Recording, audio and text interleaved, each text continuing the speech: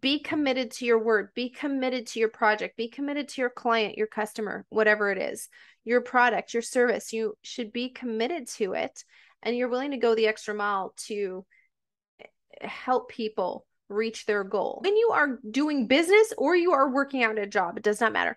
There's going to come a time where something is difficult, something is standing in your way, something is preventing you from ultimately going where you want to go or having what you want to have.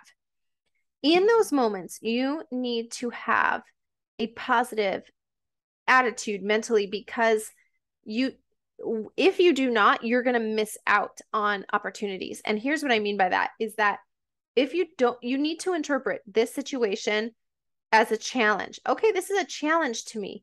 You know, um I wonder what other services or products or whatever I can create because I'm experiencing this challenge. This challenge is going to serve me not only now, it will bring me, you know, a, a return on uh, this experience. So, whatever I'm experiencing right now, I need to pay attention because I want to uh, I want to get the information so that I can provide an even better service, even another layer to my uh to my business. I want to provide even something more. I want to up my skill set, right? Because remember, you are the most valuable part of this equation. If you are valuable, you will always be able to increase your income to the point where you dictate your income. I will only work I will only participate if I am paid this much. Less focus on I, less focus on I, more focus on you. Okay. Your clients, your customers, their goals need to be at the center of whatever business it is that you are doing. Doesn't matter if you own it or you're working for a company, you are doing business when you go to work, when you are earning an income, you are doing business. So you need to think about your clients and their needs at the center of it all. Okay. Anything that is like, oh, I need to get paid. So I just need to do this so that they can pay me money. That's very you focused. This person has a need. This person has something. Of course, they want to pay you for your service, your time, your uh, whatever it is. But you need to be focused. How do I help them help their fix their goal?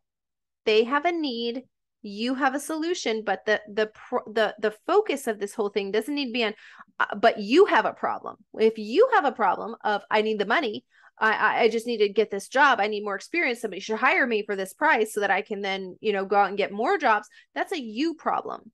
You're in business to solve somebody else's problem. So you need to keep the focus where it needs to go. This also helps you create a definiteness of purpose in yourself, meaning if you come to work every day, how can I solve somebody's problem today? How am I helping somebody else reach their goal? How am I helping somebody else eliminate uh, a problem or a struggle that they have had, maybe even for a long period of time? How can I help that person do that?